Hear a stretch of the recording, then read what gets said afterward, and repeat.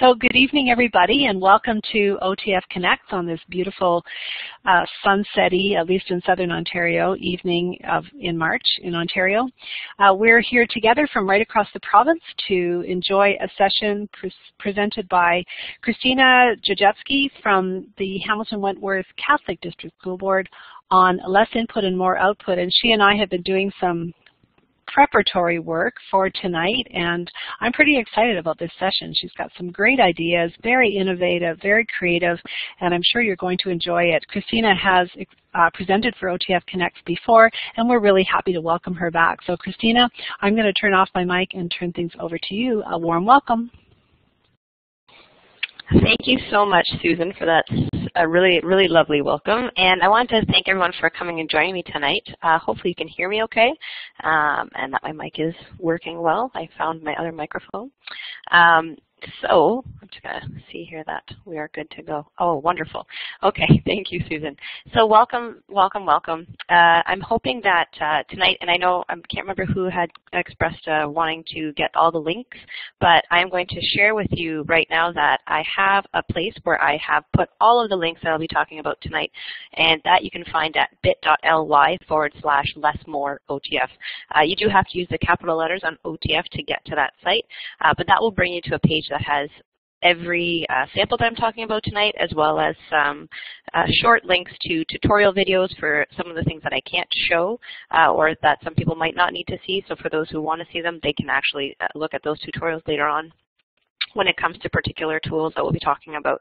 Um, but what I do want to just uh, let you know that that will be available to you. I'm not going to be taking that down, so if you store that somewhere in your cloud, uh, you'll have access to all those resources. And if there's anything else you'd like to see, I have lots, loads more samples that I could share with you, but I just put on a few so that you had some ideas. So you can contact me at any time. Um, I have my email here that uh, you can you can send me a message or you can tweet, and we can uh, connect that way. So um, thank you so much for joining me. I do apologize if you hear dogs in the background at any time. I do have two large dogs, um, and I think my child should now be asleep. So my husband is putting her to sleep. So I do apologize if we have any background crying or barking or whining uh, that goes on through the session. Please bear with me. But um, I am an English teacher here in Hamilton. I'm, well, I'm in Hamilton right now, and I've been uh, teaching English for a number of years at St. Mary Secondary. And before that, I did teach ESL, so I do love teaching English, of course. But uh, this webinar, the tools that I'll be sharing with you, they're not necessarily new tools, but just better ways of, I think, or more efficient ways of using tools that we already know and perhaps love, and just to make your job a lot easier. Maybe there might be a few things you can take away um, but generally, it's not that uh, you know it's there are so many great tools out there. Um, it's just I've tried to find, as I've gone through over the years, more efficient ways to use what I already know. And so that's what I'll be offering to you this evening. Um, and just to give you a bit of an overview, some of the ones that we will be talking about will be Edmodo. That's the online classroom that I enjoy using. I have used D2L or what we call LMS at our school. Our board provides that, but I provide I enjoy using Edmodo because it looks a lot like Facebook, uh, and students tend to know that are more familiar with it. It's a private, secure site that we'll talk about. Um, I'll also be talking about just using presentations like PowerPoint or Google for a lot of various purposes uh, that you might not think, uh, might not have thought of, or maybe you already are, and this will just confirm for you all the wonderful things you're already doing. Uh, and also how to use, you know, certain online tools just to give you better results, faster results, um, and get a, a, better feel for those vulnerable students in your classroom. So that's what uh, we're looking to do tonight. And I guess what I want to talk about, you know, just a little bit first to set the framework is that I think what we're feeling more and more as teachers, and perhaps you agree, but um, I think every year it's becoming more and more challenging uh, to reach the students and get them comfortable in the classroom environment because uh, social anxiety is on the rise. This year in English, we found a huge problem with uh, having kids present. They're getting more and more afraid to present because of social anxiety that's coming from social media. Um, and I don't know if, I'm just wondering if people are finding that within their own classrooms that kids are becoming uh, more and more afraid to actually share or present. They're, they're happy to, you know, type on a computer, but present in front of the class is becoming more and more of a problem.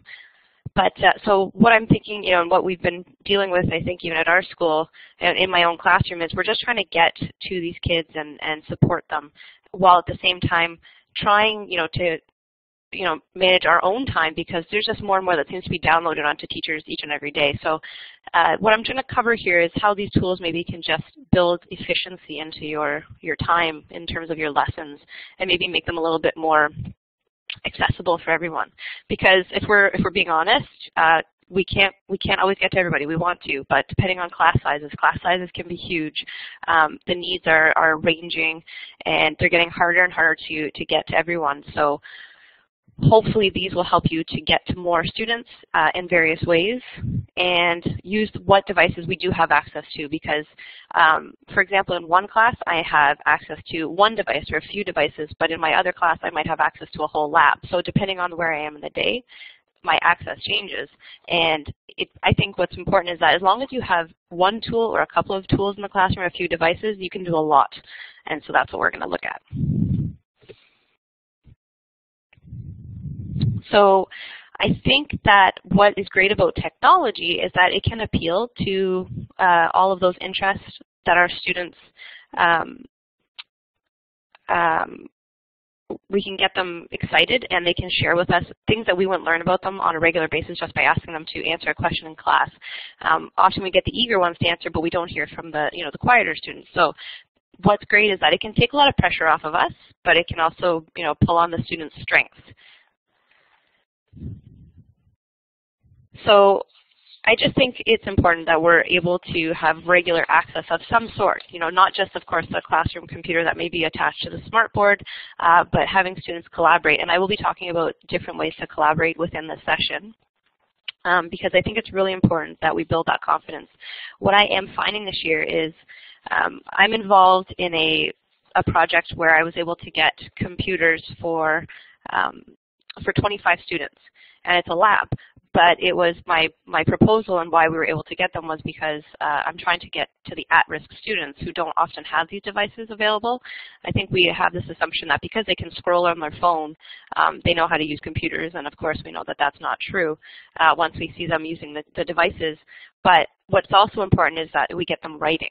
And I think that uh, what we see is a lot of students on paper, as we know, they will be limited by the lines that are in a box, a text box, um, a table, and a lot of them have poor handwriting, struggle with spelling, lots of learning disabilities that actually stop them from answering a question on paper.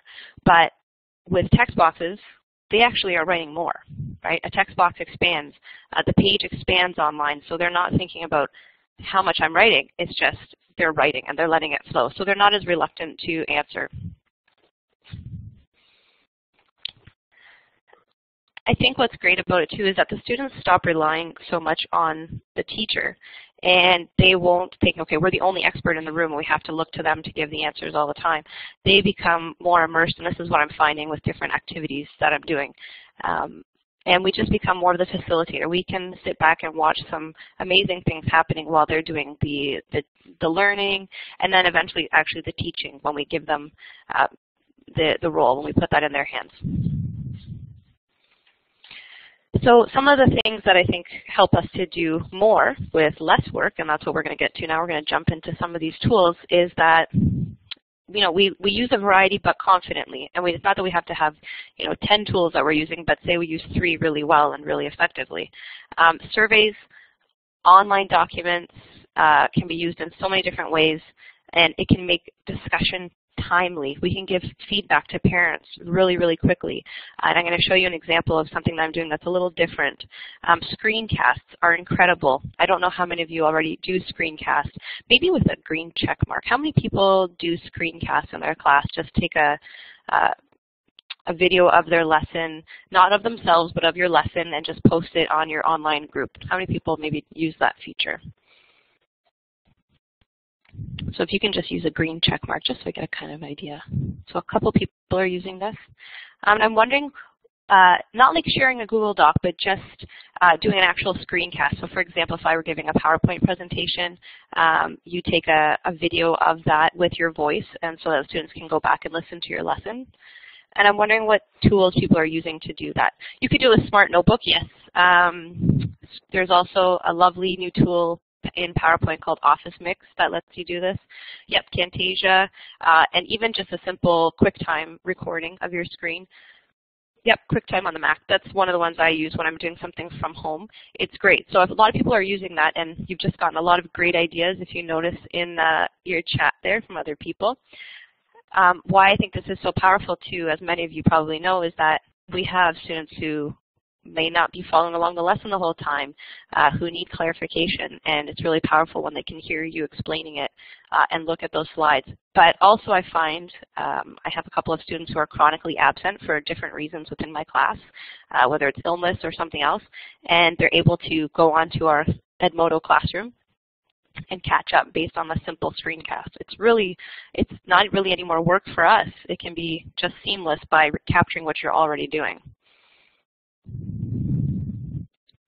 So I just want to talk a bit about having an online classroom. And I don't want to spend too much time on this if everyone is already doing this, but if we could just get a, a green check mark or red X if you are already using an online classroom of some sort, whether it's the LMS or Edmodo, um, or maybe it's Google Classroom.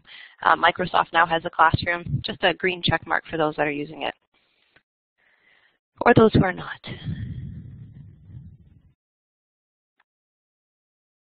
Okay, so it looks like a lot of people are, and I'm just wondering if you want to, okay, Moodle, I saw that, thank you Melissa for that. If you wanted to maybe type in if there's something else other than the ones I mentioned that you might be using. Um, so Moodle was another one mentioned. And just as we're, as we're commenting here, what I, I mean, we already know all of this, and I don't need to, to say this to you, but it, we can't help but be supportive when we have an online classroom. Parents have one place to go to to reference everything that you're doing and to be able to help. I think it's more about being able to help their child um, when we're not available. And it's, I mean, there's a great article that I dropped into our set of links in the uh, the OTF page that I, I created there. But I mean, what's amazing is this educator here in this article that I posted um, says, you know, at the bottom here, imagine for a moment the pleasantry of having parents, you know, have the tools at their fingertips, um, and that, you know, you'd have more assignments being handed in, more consistency, a parent who can sit down and go through a lesson where there might be problems. Uh, yeah, we so our school uses D2L. Uh, I love Edmodo though a little bit more than D2L just because of the, the layout, but I mean there's so many a lot of math uh, teachers at my school love D2L just for the way that they can post their lessons in math. Maybe it's because of English, but I love Edmodo. Um, but there's just you know different different classrooms for for different. Um, I think there's different appeals, but I think we it's, it's invaluable at this point. I don't know that I could go without having an online classroom. So, I mean, just to give you an example in Edmodo, uh, there's a parent code that is available. As soon as your student joins, their parent will be informed, and there's a code that they would get so the parent can see in uh, on what their child is doing and what has or has not been handed in, which I love. So they would get an alert when uh, assignment has not been necessarily uh, handed in through um, text message. I don't know if anyone has questions about Edmodo, but I'm happy to answer them. I can pause for a moment. Um, is Edmodo part of a suite? No, it's completely free. Um, not everyone in my board uses Edmodo, and this is always the interesting conversation at school. Um, the board, there's no, there's no paying for it. It's actually free. Um, and thank you, Jason, for mentioning that.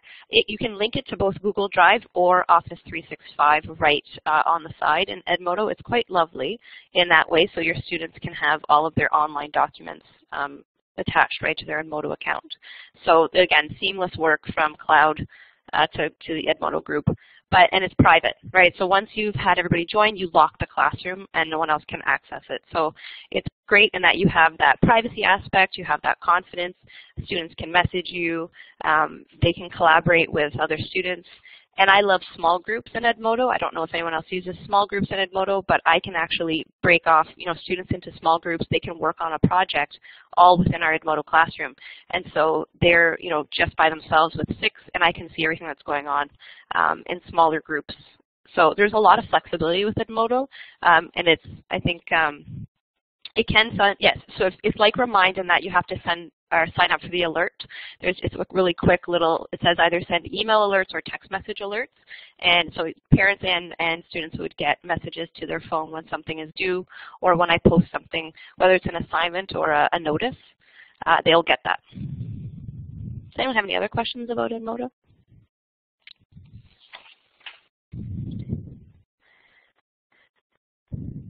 So one of the other things I like about it is when I post, say, a slideshow, this is a slide right from my one of my writing slideshows, um, it's, yeah, oh, and I love Jason just mentioned I do this all the time. I post my lessons the day before or the night before, set a time for it, and then by like I'll say 8.30 because class starts at 8.30, then those will come up only at 8.30 a.m. the next day or say um, for my next period class. So I can actually set the times that the uh, notes will appear or a quiz will appear. And you can actually do quizzes in Edmodo. There's lots of polling features there.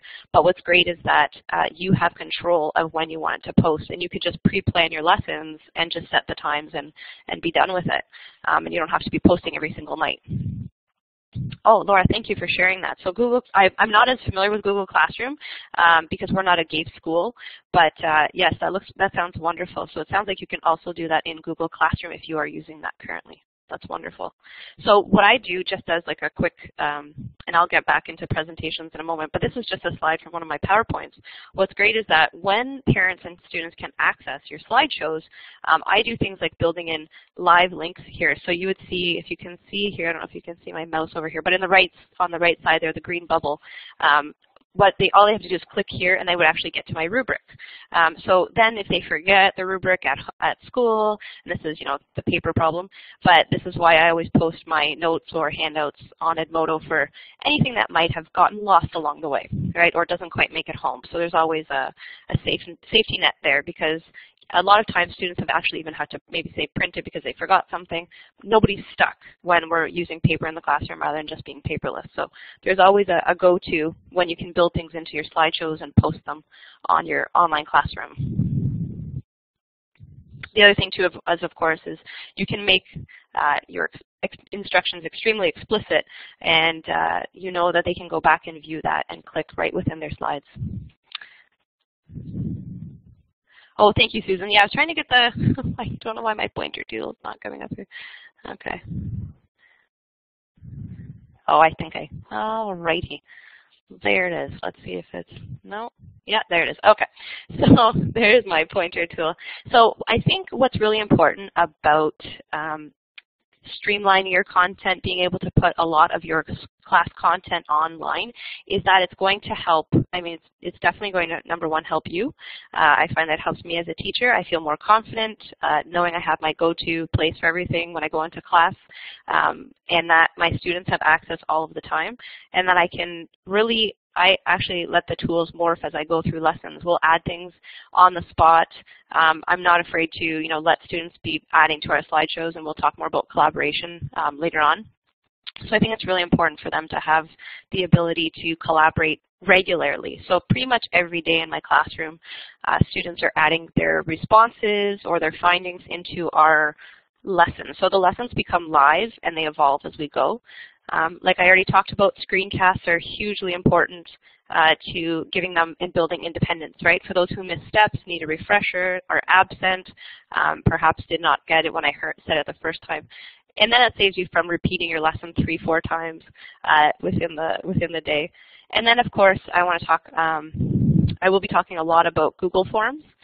Uh, because I think they are just such a powerful tool for, for various reasons. Um, I really, really love the um, um, oh QuickTime screencast. Sorry, I'm just seeing Zach's comment in the side there. Yes, uh, you can. You will get a audio recording um, if you have your if your mic is on. So if you are talking, so I actually have a sample of a recording I did for my class in our uh, links there. So if you look under screencasting, you'll see just like a quick one I did about how to hand in a document online. Um, but it will, and I just used my Mac to do that. It took me about 30 seconds, I think, to do that. So I just want to talk about how we can all gain some uh, opportunities by getting our students to collaborate, building their independence, and of course, who doesn't want more efficient marking? So we'll talk a bit about more about that as we go through.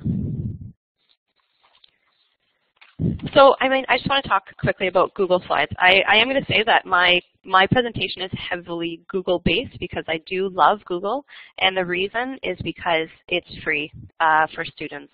I, we are not a GAFE school, like I said, um, but we I've always loved Google, and my board is actually Office 365.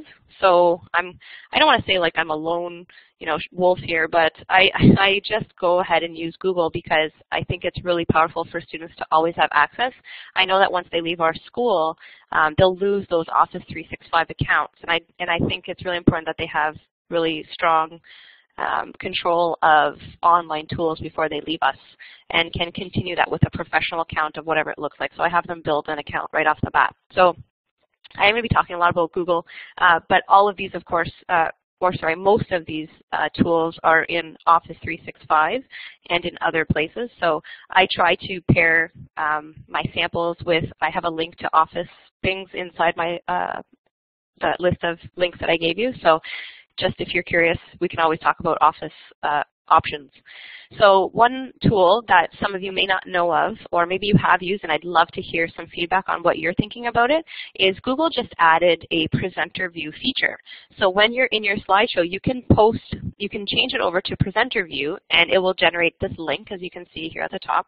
Um, so this link will then give students a chance to ask questions during your presentation that only you will see.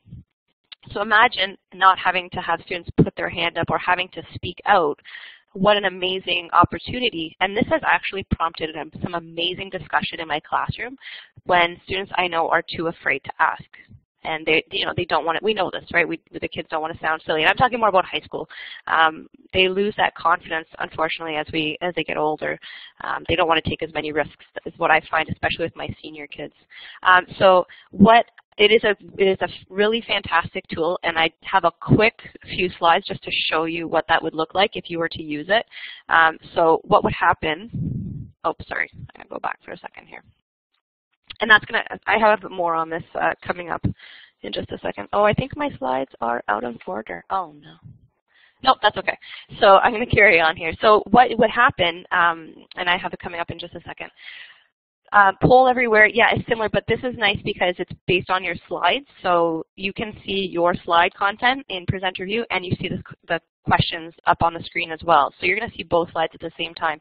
Um, and students then will actually start, you know, as I said, speaking up here. So here's what, if I've got them here, this is what it looks like. It's really, really simple.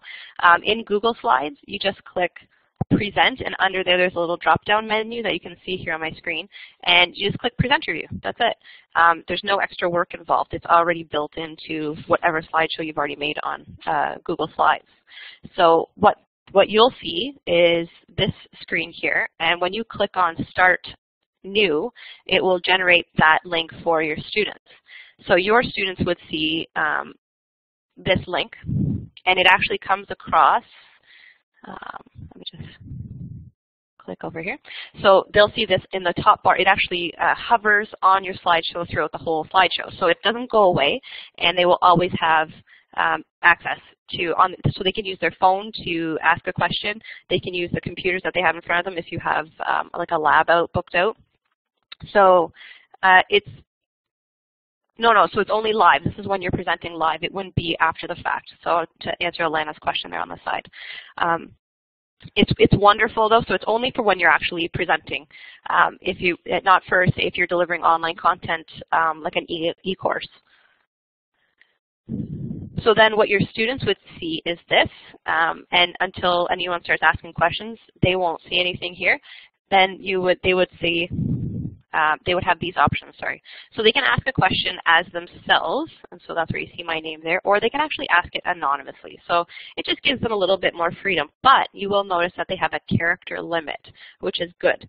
So this helps out the teacher because while you're delivering your lesson, you can look at their question. It is a little bit uh, more streamlined. You can look at their questions and answer as you go, or you can go back and address them after you're done your, your lesson, your presentation, whatever it is. So it's a really neat feature. Um, I didn't know if I caught in the chat, but anyone, is anyone using this at this time, the uh, presenter tool? If you want to Zach, how are you finding it? I don't know if you wanted to jump on the mic or if you want to just Uh, post in the chat. Can you guys hear me? Maybe how you're finding it. Yes.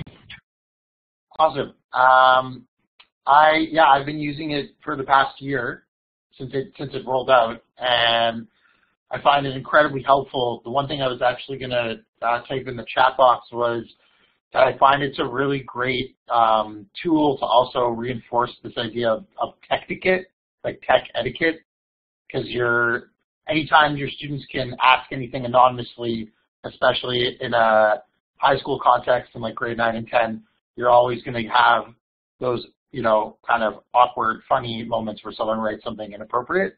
And so I think it's a it's a good. You just want to keep that in mind. It's a good opportunity to talk about how you can use tools, tech tools, uh, in a, a way that's productive. Thank you so much for sharing that. Absolutely. I did, uh, I should have mentioned, yes, the that bit is really important um, before we start anything. And I know, and, and this happens every semester for me in high school, I have to start from like the beginning or like scratch with uh, in terms of etiquette because they get silly. Um, even in uh, Google, anything we're doing in presentations, they quickly find the chat feature and they're they can be ridiculous. So it's really important that um, they use, uh, that we talk about etiquette right from the beginning. Uh, and that's, uh, you know, the thing too is what I have to always impress upon them is that, you know, you're at risk of losing the devices or access to this technology. We need to be responsible digital citizens because this is something we have to use uh, a lot in our classroom and you want to have access to that. So that's something that we definitely have to talk about and I thank you so much for bringing that up and uh, that sharing the mic there. Thank you. Would it work in a junior classroom? I think so. I think absolutely. And of course, like we just said, talking about etiquette first. But in a junior classroom, yes, especially even I would think in like if you want to do it in small groups or if you had access to enough devices that they could ask their questions, I think it's super powerful for those those younger kids to be able to ask these questions um, while you're presenting. And I guess you know maybe it might have to be at a at a you know chunked and slower pace in terms of what it might be that they're focusing on. But absolutely, I think that that would be a great tool for them.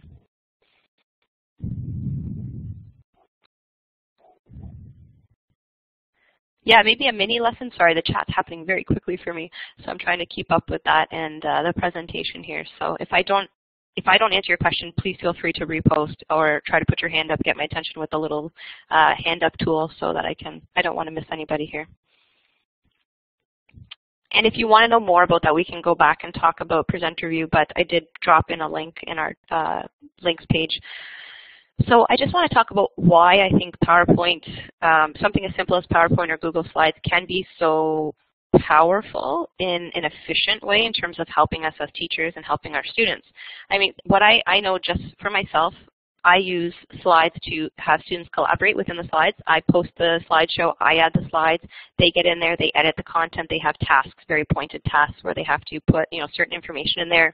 And, and this helps build confidence in creating slides, in sharing information, in presenting information. It's an instant presentation where we can do informal little uh, presentations and have them speaking. The more they speak, the more confident they get for those presentations. Um, and so that's really, really important that uh, they're doing this. I put all the links into my handouts in there, whether there's just a rubric or an interactive handout that we actually modify and present in class. Um, I embed videos all of the time into my slides. It's really quick for teaching. It's great for reinforcement, um, even for quizzing my class notes, my questions with student responses, and I also actually embed quiz links into the end of a lesson. So if we are doing online, I would um, uh, have them go, that quiz is right there at the end of the lesson and they, they, it takes them right to my Google form quiz. So it really does streamline the process. I'm not handing out papers uh, necessarily um, and I've got them, you know, everything is right there for them. So for example, I teach Shakespeare, which a lot of kids are afraid of. Uh, so I start off with a nice TED Ed lesson. I love TED Ed. For those of you, I'm sure a lot of you are using them, but they're fantastic in that they illustrate, uh, they're animated, and they talk about some really big topics um, in, in a more engaging way for students. So, you know, just building in something as simple as a YouTube video, um, it's seamless with Google Slides. I mean, it, it really is easy to do, but just so effective in being able to show everything that you have. You're not clicking in and out of different areas. Um, here's an example where I have the slide here. When we're talking about Romeo and Juliet, um, I actually build in the handouts right to my pages in my in my slideshow, and students are taken. They have to uh, to those pages so that they can then go back and reference our, our work. And it's really, it takes me only a second to link my handouts, but now they have a tool uh, where they're going in doing the work and then sharing the work in, within the same within the 75 minute period, we've done everything. So really, it's just about making our slides work for us. Um, here's another example. I will explicitly state my instructions and then give them the link to what I want them to complete. Teaching them, this is uh, one of the slides I used. This was uh, just from the beginning of the semester for the second semester here, um, teaching my students how to, um, you know, just use Google Docs or Office 365 to create their online binder. And so, you know, simple instructions, clicking on a link, making a copy, saving it to your drive. Because truth be told, I found very quickly that a lot of my grade 11s and 12s don't have confident use in just using the cloud. So we, you know, it's really important, and it's becoming more and more important um, for us to teach them how to use these tools because they're not getting it in every class. Uh, at high school, it's really, really tough because um, it's really scattered, right? Different access in different classrooms. So it's really important that, you know, we do teach them how to use these tools, and then it helps all of us become more effective. Something simple like, um, for me, I always found it hard to get students, and I still find it hard to get students writing on paper. So when I can, um, I did something here where I had them submit topic sentences as practice. And I was able to do this through a Google form. So it could be um, showcase your knowledge of whatever content you're teaching, whether it's history, geography, science, um, math equations, because you can do these in Google Forms, um, and seeing how testing, do they understand the lesson? Um, and then I'm able to see it all in a spreadsheet. So so quick. It's right there in my slideshow. Um, really, it's all about streamlining. And I was able to take the information, and here it is. I took, all I did was copy and paste from my form some sample uh, topic sentences, and I was able to do it in the next lesson, show them these are the ones that worked well. They were able to move on to uh, the next process in the writing, or next stage rather, in the writing process, and I didn't have to do any extra legwork. I wasn't collecting papers. I was able to just simply copy and paste from a tool that they had used that day. So I want to talk about, uh, to just to remind you, for those of you who are using, and I'm sure most of you, this is probably an obvious, um, are proficient users of PowerPoint or Google Slides. But remember that your lesson can easily be redone by making a copy of it. Share the new link with your next semester or your class next year. What's nice about these slideshows is that you don't have to redo them or reinvent lessons. It's simple uh, for us as making a copy and sharing the next year's, you know, with the next year's class. Of course, we always modify our content, but the lessons, the content, the uh, the structure rather is there, right? Whether it's, you know, Shakespeare doesn't change, for example. So it's what we do with it is what matters. So I just want to pose a couple of questions for you. I'm very lucky, like I said, I was uh, lucky to win a bid for computers in my one class, and so I'm really trying to focus on what a paperless classroom would actually look like in my one, uh, just my one grade 11 college class.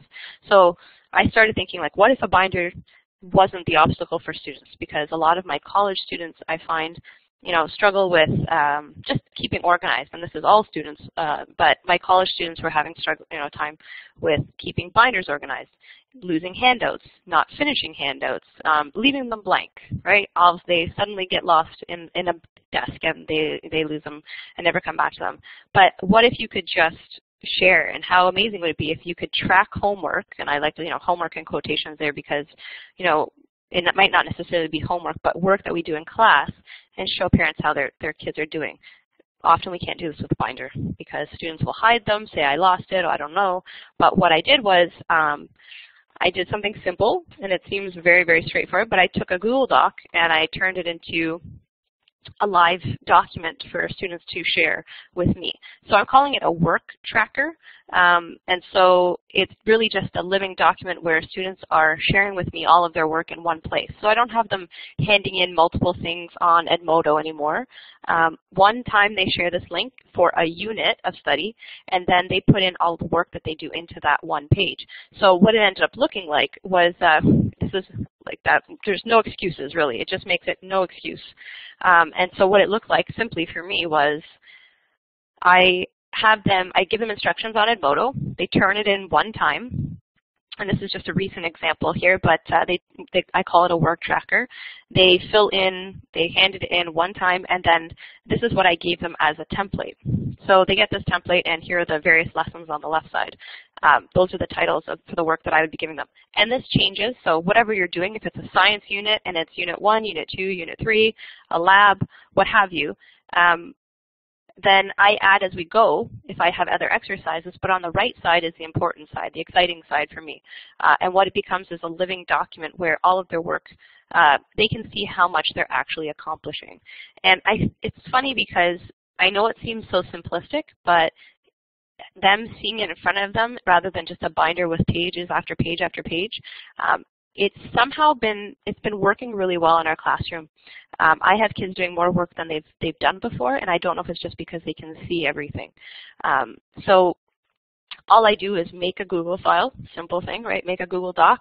I teach them how to make a copy of it, and then my work is done because they save it, and then it ends up looking like this. So this is one of my students' uh, trackers right now, and so I can now actually go in and where you know with 28 students, in one period, let's say, I wouldn't be necessarily able to see all of their binders all the time. But now they're responsible and I'm able to actually see what they've completed. I can send this link to their parents. Um, their parents can see this one sheet with one click. This is what they've completed. This is what's not done. And they can actually click on each link and look at their handouts. Whereas a binder just doesn't give us that kind of power or um, opportunity to see what's going on. So I'm just wondering if people are using docs like this and in, in other ways, um, creating, making them into more of a living document online that, that parents can access. So just, for me, it was like an aha moment where I could give kids more control and, and or myself actually because I could see what they were doing on a more regular basis.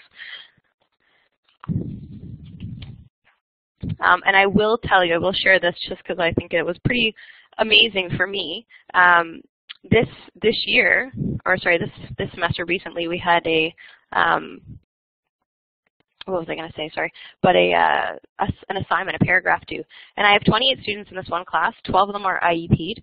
26 actually submitted them, and so for on the first try, this was a rare occasion. Um, it made it like 93% success for me was a win. It was a huge win when when I, and I know it's based on access, but this really um, became, you know, a big eye opener. When we can give them access for a certain assignment, it doesn't have to be all assignments, but what a huge difference it made that I had 26 complete on time or before the due date. And before was phenomenal for me. So I think, you know, the answers can become richer. So not only is it, oh sorry, Oh, I can provide more. Yes, I can. I'm going to go back then for, let me just go back a slide here. So all I did, uh, Nicole, was I created a Google document, just a doc, and I created a chart for them. So this was my, this slide here just shows a template. And I, I'm really big on changing color and backgrounds. It just seems to change kids' uh, when they don't see a white screen, I don't know why, but it seems to work. It has a little bit more appeal, so I often use color in my backgrounds. I know it's a simple thing. So all they have to do is make a copy and share it. That's it. Yep, one time. They make a copy, share the link, and then I have constant access to that file which keeps getting updated as they work through whatever assignment it is that they complete. This could work for just having, you know, handing in assignments from home. So it doesn't have to be, they're adding, yes, these are the links to their own documents. And those documents are always um, samples that I make and they again make a copy and just put it into the into the tracker there. So those are all my handouts uh, made into work. They're worksheets online essentially, or any online content we're doing. Does that help? So um, digital, yeah, so in my own drive or in their own drive, they can share their whole file folder, but what I like about having it all in a worksheet space is that it shows them um, it's a reminder for them. It's like a visual reminder like, okay, I have work that I haven't completed yet or, oh, I did this really well. So it's just always in their face, I find, uh, when they're looking at that one place rather than say at like a, a, set of files in their file folder or in a portfolio. I know it's just something that, that's working well for them right now, um, but this is just my one approach. Have you used digital portfolios or have you had any good experiences? Anyone want to share perhaps a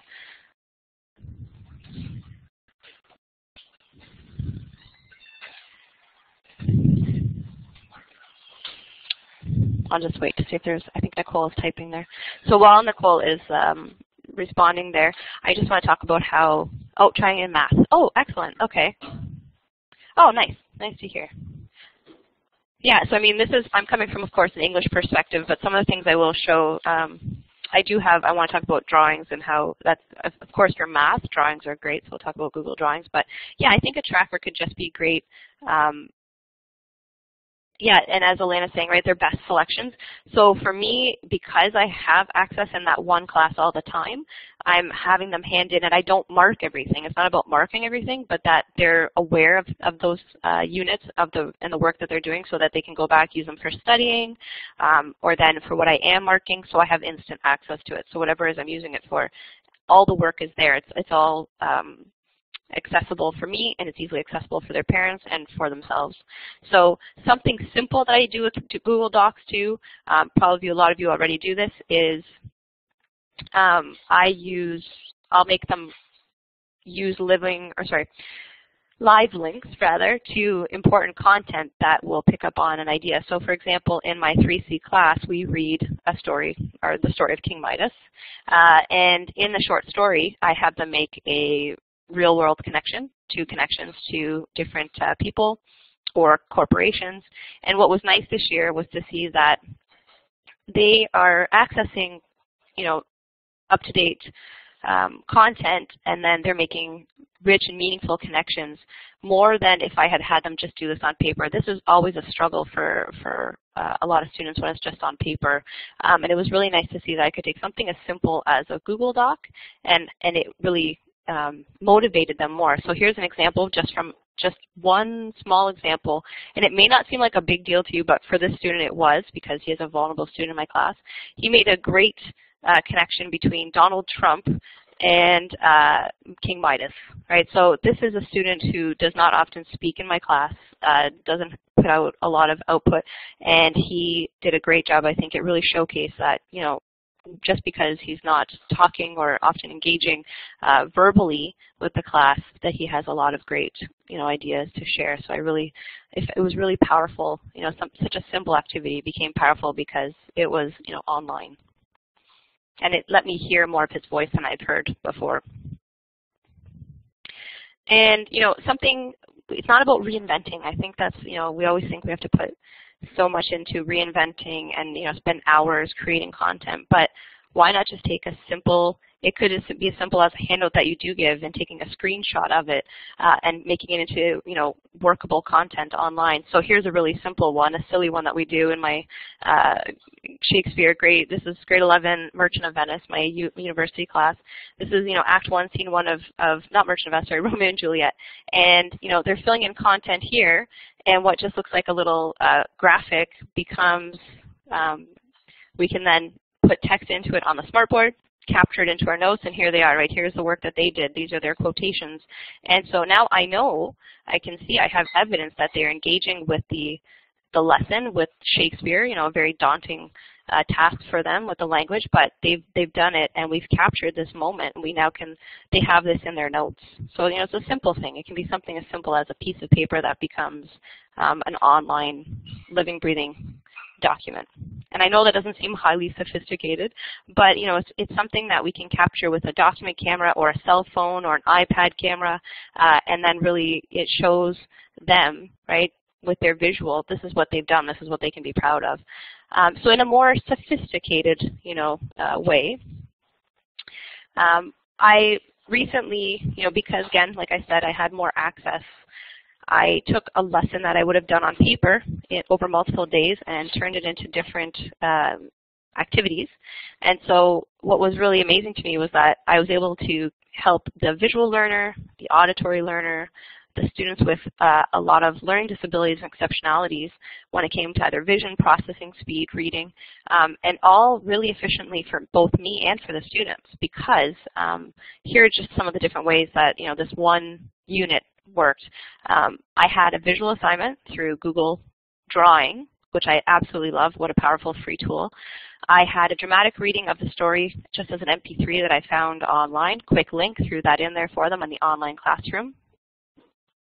And we had, uh, I did something as simple as taking the story of the Telltale Heart, that's the story that I'll be talking about, and I put it into a bigger font and did contrast on the background in Google Docs. It's so simple, but it really um, was powerful. So for example, I'll show you here what that unit looked like over the week. It was one week and multiple applications.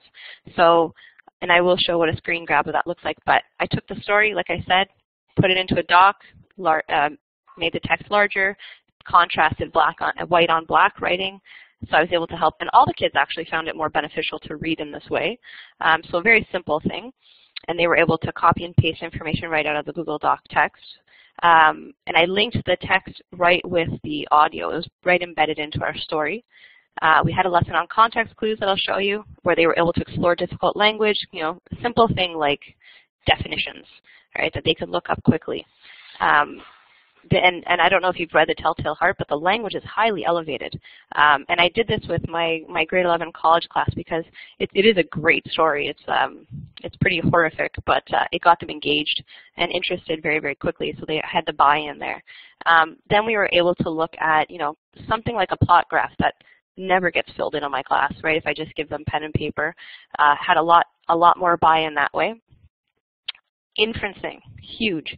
Had students doing a visualization, which I will show you. I think that it turned out really well for them um, when they had, you know, just a simple tool to, to use as a template. And then I was able to, on the final day, of course, kids love when there's a movie attached. Uh, there was a short film on the Telltale Heart, 20 minutes, embedded it right into our lesson. I was able to then, this was great as reinforcement before we did a quick 10-mark uh, quiz on the story to reinforce their learning, and I did that in Google Forms. And the quiz, uh, because I set it up, it marked itself, and they were able to see their feedback automatically. So one text, everyone uh, had access. So some, this is something simple, right? This is a text with um, that that just changing the, the writing from that white screen to the black background, white text. Simple thing to do in Google Docs when you um, click on the page setup. You can change the background color of your page. So that's where this became really useful. I was able to, this is my handout that on paper wouldn't have had much power, but I was able to take a traditional handout, link it right to the text, so a short link to my story text, and a link to the audio, and then they were able to uh, like I said, just look up definitions, right? So once they had done, you know, the, the context clues part, then they had a chance to just quickly do uh, a search in Google, right, right within the document. No having to look in multiple pages, and that's why I love that, that quick tool uh, in Google under Explore, which I'm sure many of you are already using. Um, just another example, right, plot diagram became um, easier to use. I can post my graphic of my text, of my information. Now here's where I found it really, really uh, powerful. So something that, you know, students, when we just read a story in class and have them do work, or whether it's, you know, a lesson in history and have them do a handout, um, by being able to take something as simple as a template that I made, this was just a template I created in Google Drawing, took me probably five minutes, um, then I had these kinds of results. So I'll show you what some of the students created for me from this very basic, uh, I just wanted them to find four quotations that showed that the narrator uh, descends into madness. And then they had to have four different visuals that showed that change. And this is what I got from, and these I chose these students because they are often less engaged. But, and here's what I got. And what was really neat to see was that everyone was working on this. It was quiet in the class. Kids were doing all, like they were asking me how to do different features in Google Drawing. They wanted to know how to change different things. They really wanted to make this their own. And what's funny is I just wanted to do this as a, a practice. And then right away they said, Miss, well, you're going to mark this, right? They were so proud of their work that they wanted me to mark it. And I said, okay, okay, okay, but I have to show you some kind of rubric. I can't just mark it. But I, I was thrilled that they they were so proud of their work uh, that they wanted they wanted me to give it some, it had to have a mark, it had to have value. And so here's another example. Uh, there's I, all of them turned out so well. Um, so the student here matched up the words that highlighted uh, their visual or what their visual was trying to highlight rather in the in the quotation. So really, really simple, but a very powerful tool, and it really illustrates their understanding. Uh, and it was something that they enjoyed doing. And then, of course, as I said, um, I linked it to the video the next day, and then which was then linked to a Google quiz. And I love Google Forms because they are just so powerful. They give you a lot of information back with a not, not a lot of work, and I will talk about those in just a moment. So like I, like I said, what was what I was able to accomplish because I had those tools in, in my pocket were they now know their story elements, they know how to create content online. They are proud of the work that they created. And now moving forward in our course, they can use those skills. So now we're just building on those skills as we go through. So I'm going to stop and see if anybody has any questions before I move on to Google Drawings. So if anyone, I don't know if anyone has, uh, or wants to maybe, you know, comment on maybe one of those tools that they're using in their classroom in a way that that uh, might benefit everyone in the group here listening. If there's something that you want to share, like perhaps a, uh, you know, a tool that worked well for you. Uh, are people familiar with Google Drawing? Have you used Google Drawing? So maybe just with a green check mark, are you using Drawing or have you uh, So green check mark if you use drawing or have used drawing, or red if you've not used it before.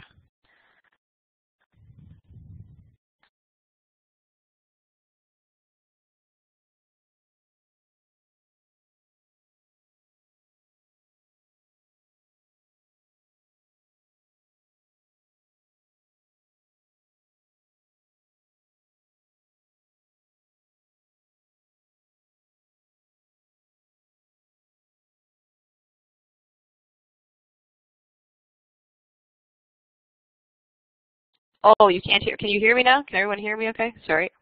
I think I lost connection there. Sorry, I was, and I was commenting on Jason too. Uh, the test quizzes. Yeah, no, I use I use Google Form quizzes. I don't uh, use Edmodo quizzes as much. I don't like them. Um, Google Forms I just find is a lot better because I can give my students feedback, um, and and it's right away. It's instantaneous. So, sorry about the silence there, guys. Okay, so I'm going to move on to uh, Google Drawing and just talking about just you know how powerful this tool could be for us. And for those of you who are using it for math or science, it, there are um, there are some great add-ons in this tool, and you can export them as something called scalable vector, um, scalable vector something. I'm sorry, but I have no clue what that is. But it seems like a very useful thing uh, for graphing. So there's a, there's some great components for for subject areas here. It's it, this can be a really great tool, and again, it's free.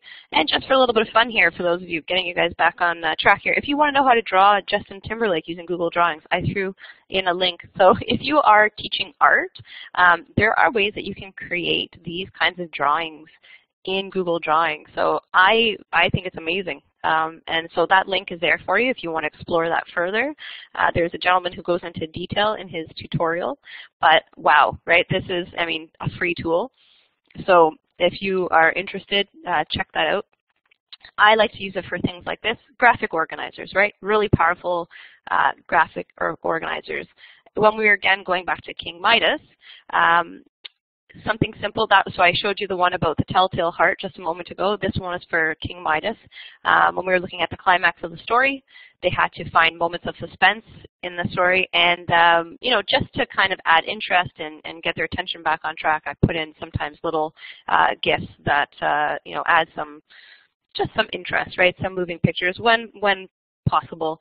Um, and you know, sometimes into my slideshows as well just to see that they're paying attention, right? Um, but you know, they like to have fun with it too in their presentations. They start using GIFs in their uh, presentations. So when they are used well, uh, they can have a, a, nice effect to them. But what I think um, is great about, sorry, I go back for a second, to Google Drawings is you have so much control over what the final product looks like, and it can look really professional. Um, I've just shown you some simpler ones, but in past OTF presentations, I showcased uh, some of my student work. They use this for magazine covers, and you can get a lot out of Google Drawing. Um, they don't have to be experts in like Photoshop and have access to Photoshop, which you know they have to you know pay for. This is this is free. So you know if you want more about Google Drawing, um, let me know. But it is a fantastic, fantastic tool that I just find really exciting that you know it is something that we can access for free. So I am going to move on to Google Forms, which uh, springs off of Jason's last comment though. Yeah, I love Google Forms because um, if you're not a form user, you uh, what's really lovely is that after each question or within each question, you can give students feedback on why they got the answer wrong. So you can embed that feedback uh, into the wrong answers so that when they go back and look at the right answers, there's a you can choose this tool or the sorry choose this option in Google Forms, uh, it's instant for them. So they're not waiting for you to mark a paper quiz. Uh, they're not waiting for you to tell them why they got it wrong. They'll see right then and there, and it's it's so valuable. And it's really not a lot of work once you set it up. So I use, um, sorry, I'm going to go back for a second. I use forms for not just a quiz. Uh, that's one nice feature. Uh, but I use it for testing prior knowledge, right? Asking, you know, for agree or disagree statements to see where the class is at, and then it sparks discussion, um, self-reflection, and I don't know if people have done this before, but I use it for peer editing. So I can actually create a form, and students can do peer editing when I link the, the group's content to my form. So if you have students, you know, looking at each other's slideshows, let's say, um, or some, some other content that they've created. Um, like Nicole said, perfect. Um, they, with Google um, Forms, you can put in a video, you can put in an image. So if you had, say, a lesson or even like it could be something that you drew in class or a snapshot or something from a field trip. You can put them right into your form and then have a question on that. Um, so it's there's the possibilities are endless for what you can do with these forms. Um, and because it's online, it's it's incredible. Um, yes, Laura, I'd love to uh, talk more about Google Drawing. Uh, perhaps we could do it in another session because it's really, there's a lot. It's really, really rich, and there's a lot of, uh, I, if I have time at the end, though, I can take you through a quick tour of Google Drawing. We can do an application share, so I'd be happy to do that. So just um, talking about uh, Google Forms and some of the reasons I love them is you can assign a point value uh, to each question, and uh, like I said, it's self-marking. You can randomize. So if you're worried about, I know we're always worried about, you know, students cheating or whatever. Uh, so it will randomize the order so that if you are in a situation where students are side by side, that helps a little bit. Uh, it's nice that you can shuffle the, and then what's great is in one spreadsheet or on an individual snapshot, you can see how the student did. And if you really wanted to, you could screenshot it, I suppose, um, and show the student, you know, or parent, this is how, you know, Alex did. He got you know 10 out of 10, and here's a, a snapshot of his work. Um, so it's neat in that you can always go back and uh, share that information with the students. But they'll also see their mark right after the quiz is done if you allow it. You don't have to. So you don't have to um, give them access to those right or wrong answers. That could be something that's shared after the fact. Um, so here's an example of what you can gain from it. So here in, in this question, I just took a screenshot of uh, one of the one of the questions here. In the bar graph, it will show you um, where people are at. So this is great for you know maybe your next lesson for the next day. Maybe kids didn't understand something as well as you thought. Maybe you need to go back and, and look at a concept or a question in more detail. Um, so really, really quickly, with you know 28 students, I'm going to go back to my 3C class again, but or here there were 27 there that day. Um, the 27 students, only 20 of them, if you can see that, it's pretty tiny, but only 20 of them got it correct. So perhaps it's something I need to review uh, as an example, and that um, is self-generated by Google Forms. Um, another example here in the, in the top, it told me, um, or this is just a screen capture like I was talking about that quiz, it will show you what the student's mark is. So if you're going to put this into your mark book, you can throw in, you know, you'll know right away, okay, I just asked them for first name and last initial in terms of uh, collection to keep it, you know, kind of uh, safe there. But then I've got the mark right there. It was very, very quick for me. But here's something lovely about um, sorry, it's coming up from here. There it is. Um, I can see very, very quickly how the class did overall. So I know that the average score, you know, on average, the students understood that uh, that concept that I was testing um, and where they fall in terms of uh, correct response or responses. So I like that it shows me that distribution really, really quickly. And for those of you who are using forms or, or who are not as, as uh, are not as knowledgeable about forms, it's really simple. When you're in uh, Google Forms, there are already blank quizzes set up. You can use these for all kinds of different things. Um, I've used them for, like I said, agree or disagree questions. You can use them for a bake sale at your school, um, perhaps like for you know gathering information on any kind of activity. Um, these are great for that. But uh, just some examples. Prior knowledge, I, I have a unit in my grade 9 academic um, talking about heroes.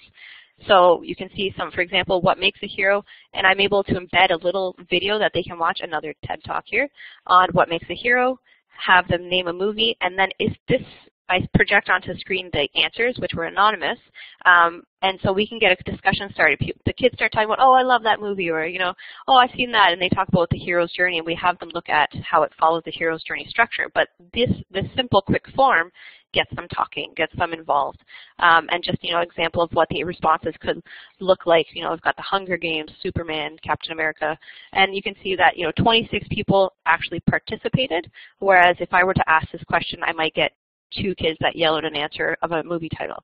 So, you know, something, something so simple.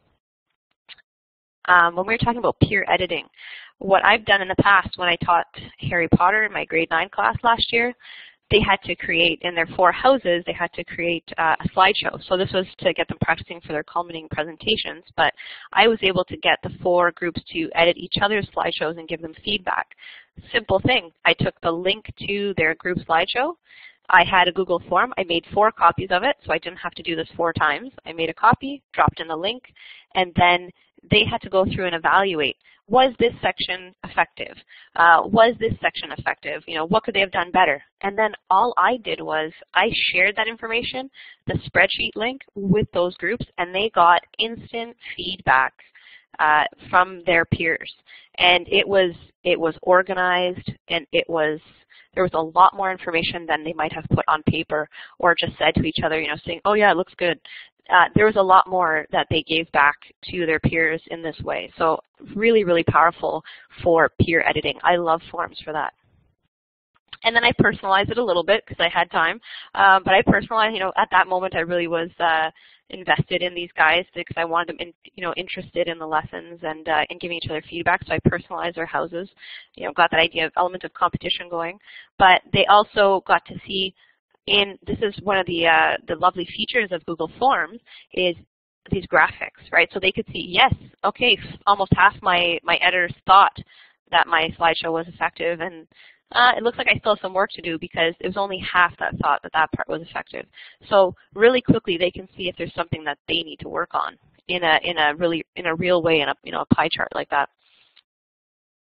And so, like I said, very simply, you can share that information with them if um, if people are interested, I can. We do have some time, and if you wanted to look any more at forms, I could uh, take you on an application share just to show you some of the features. If people have questions about forms, um, so if, if, you do, I'm welcome. I'm game for that. Um, otherwise, I just wanted to uh, talk a little bit more about collaboration. Um, but okay, so Melanie, if you want, then how about um, so I'm going to try this quickly with you now. I'll just show you how you could create that form very quickly and what it would look like. So I'm going to give this a shot. Um, sorry, I'm Elaine, I'm not sure of your question here. What you're, in terms of uh, what scripts you're talking about.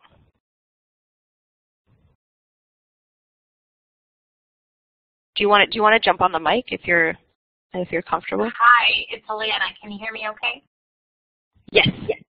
Okay. Um, I've only seen wizards do this, but and maybe Susan Watt is one of those people. But um, basically, once you create a spreadsheet, like your form goes all together, um, you can write in a script or use a script in order to get it to start sorting. And so I guess what I'm I'm not at the level yet where my Google Forms can start to sort so I can see how a student's doing over time rather than just on one Google form at a time. That's what I was wondering about. Okay, interesting question. So I haven't used them in that way, but that would be fantastic. Like I haven't used it to track one student like that um, over like a number of exercises or time, but I would be interested too. Um, so perhaps that is another session that we could be talking about um, that maybe Susan would have uh, more on for us. So that, yeah, that's an excellent question. Haha, yeah, I haven't used them either. Um, I've used scripts, but only scripts that suit my needs. I haven't been in a classroom since scripts and forms were a thing. So, but while um, Christina continues on with her little web tour or application sharing of forms, I'm going to go and look through the OTF uh, past sessions and see if I can find one on using scripts, and I'll share that link if I find it. Thank you, Susan. That's awesome. So I will give this a shot here. Um, so I'm going to show you, and hopefully this is going to cooperate with me. Let me just make sure that I've got my application sharing on. So just bear with me here. It is, here we go. Okay, so I will, I know that Susan has warned me to not go too quickly. So I'm just going to um, click over here. I'm in my um, Google Drive, and just by hovering over New, the only problem with Drive is it's a little, or not Forms, sorry, Forms is a little hidden, so you just have to go to the secondary. It's not in the first tier of uh, icons there. So when you scroll over to Google Forms, uh, that's where you just click on Forms, and it will take you to a brand new form. It looks pretty unexciting here, um, uninviting. It's just a blank form, uh, but it will do the trick. And then you can start playing around with how it looks. Uh, this is where you can actually change the background if you wanted to put in your own picture. Uh, Forms itself has a lot of uh, different options, but you can upload your own photo. And hopefully this touring is going well here. Um, but you can, so let's just say we wanted to put in something I'll just throw something in here. Some of them move and have some other capabilities. For example, this baby here is moving in the balloons. So let's say I choose that as my header, but you can change it for your class, your school, your subject. Um, what you what it's exciting here is that once you start creating questions, you have multiple options. You can do multiple choice, drop down. You can actually um, use uh, scaling, multiple choice grids. You can do it whether it's a date time kind of stamped question. Um, with English, I've combined it with paragraph or short answer questions. So if I want them to do more of like a quiz or test here, you can do that. And then once you decide, so for example, multiple choice, quickly you put in, it could be a yes or no. It's also very, up. it's, it predicts too once you've put in a question if it's a yes, no answer, and you can even just accept that they already give you the choices. Um, but here's where, if you're doing a quiz, this is important. Um, make sure that you've chosen that it's a required question and that the, the type of quiz or type of form it is is a quiz.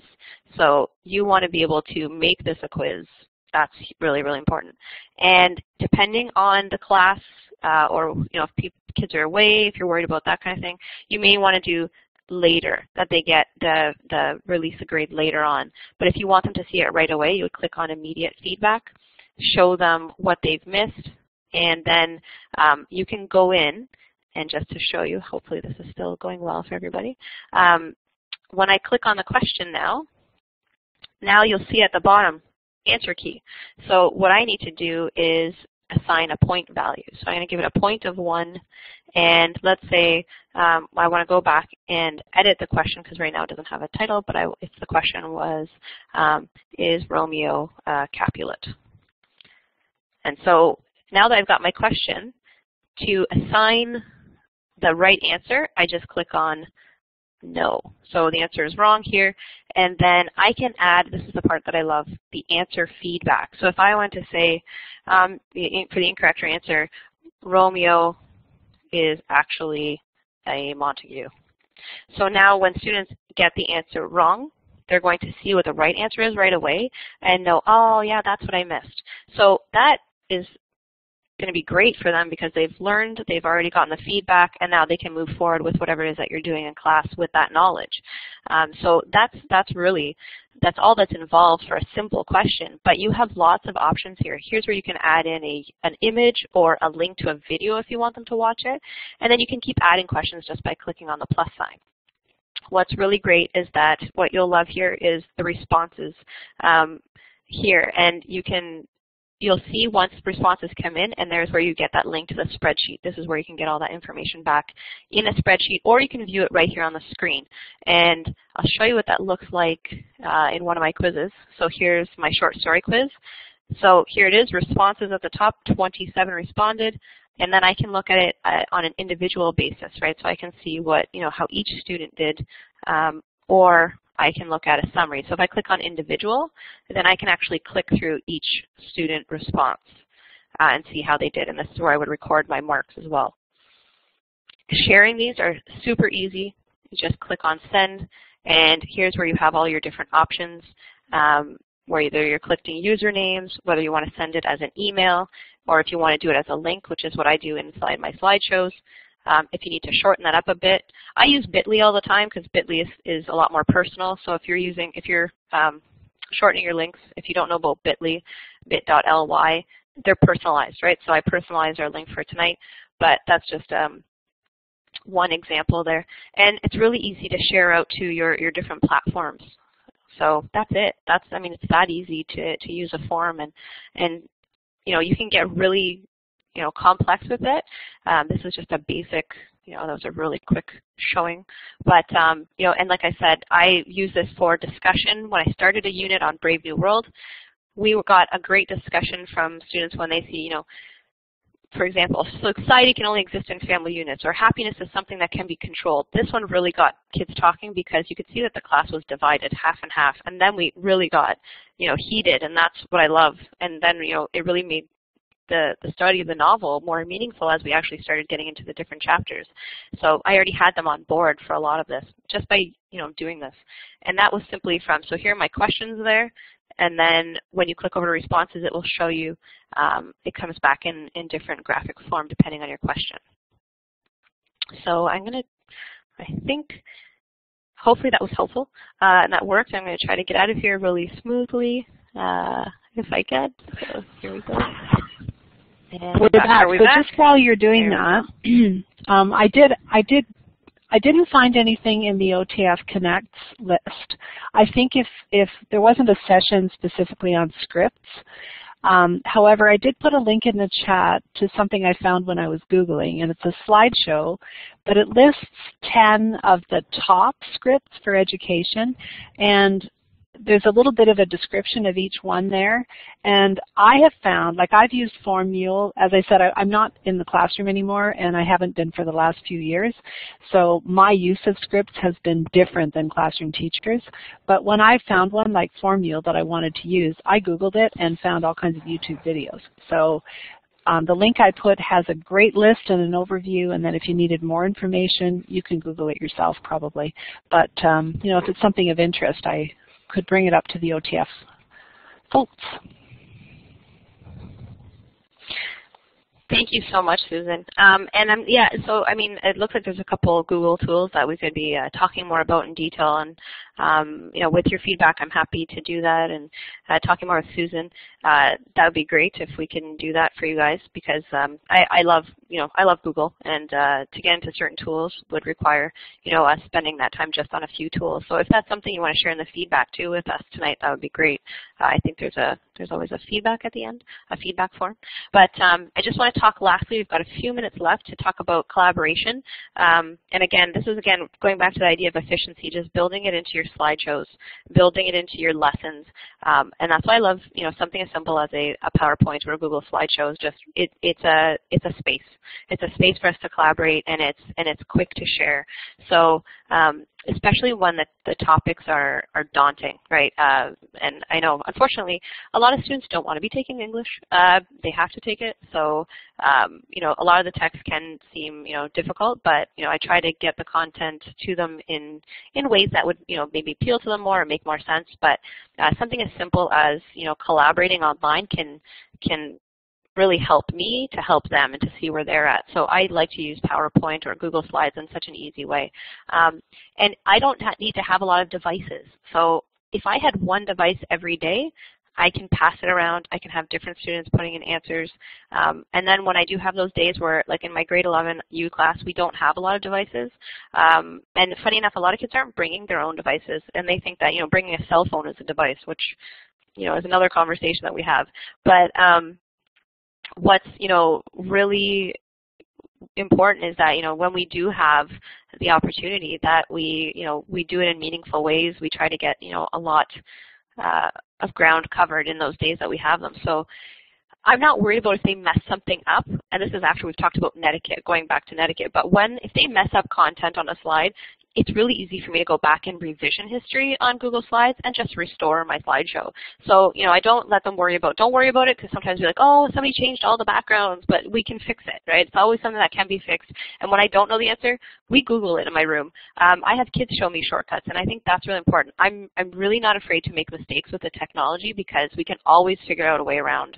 Uh, and that is, is such a valuable moment for learning. So I think, you know, in building that efficiency, it's also important that I'm showing them that I make mistakes and that we make mistakes together and, and not to worry about it. So uh, here's just a really quick activity I could share with you, something that could be done in uh, so many different units, not just in English, but character trading cards, right? Remember, gone are the days I got, I don't know if kids, do kids collect trading cards anymore? I don't know.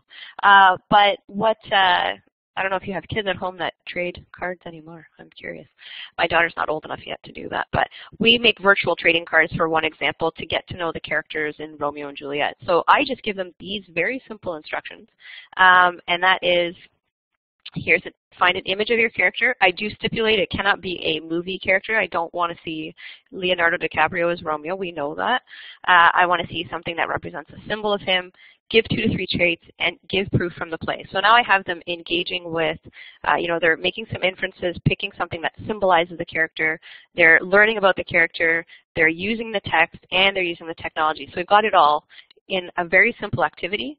Um, and what's beautiful too in Google Slides, I love it, um, is, I don't know if you know this, but very, very simple thing, if you click on Tools and Explore, it takes them right into a safe search. So they will be able to search right within the web uh, or images on in Google Drive, or sorry, Google, uh, or even from their drive, so they can look for existing things that they have already.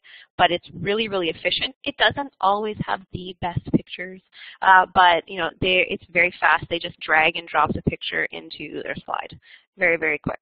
But what I'm excited about is some of the things that they came up with. So I have a sample, a couple samples from last semester.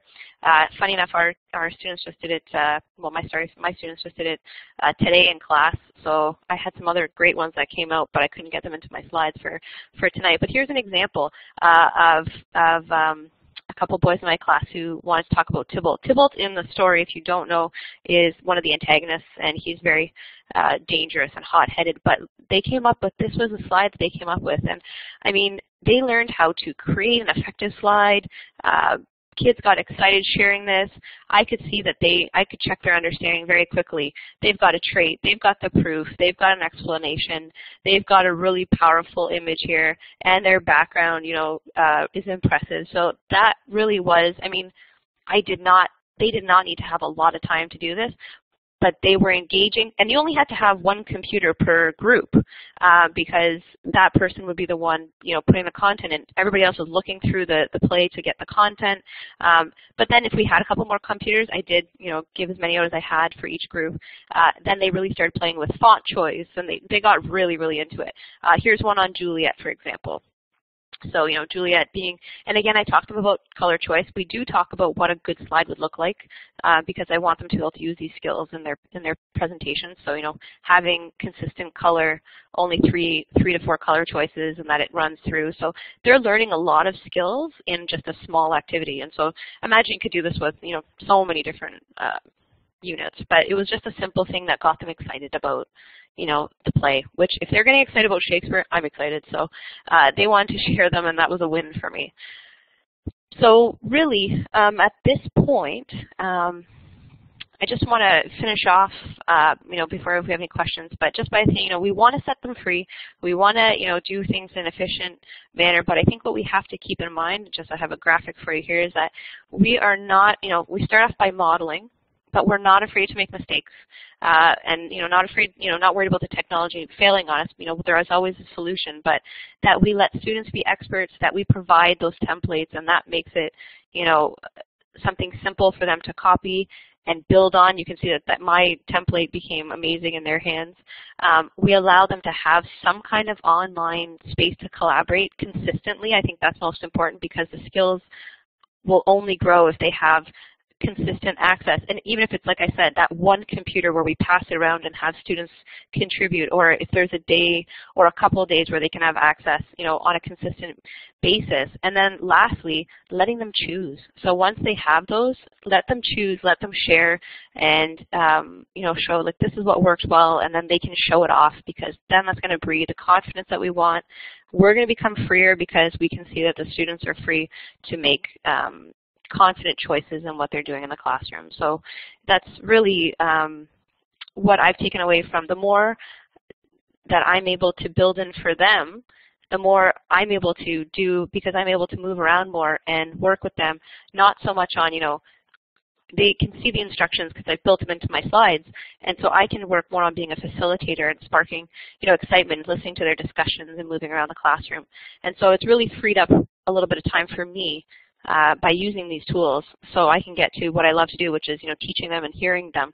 I love hearing how they come up with new and fresh ideas on, you know, content that I've teach, you know, I've taught many, many times. So it's really exciting. I think technology is exciting in that way because we can we can see new things and their insights, what, what students are, are bringing to the table more and more.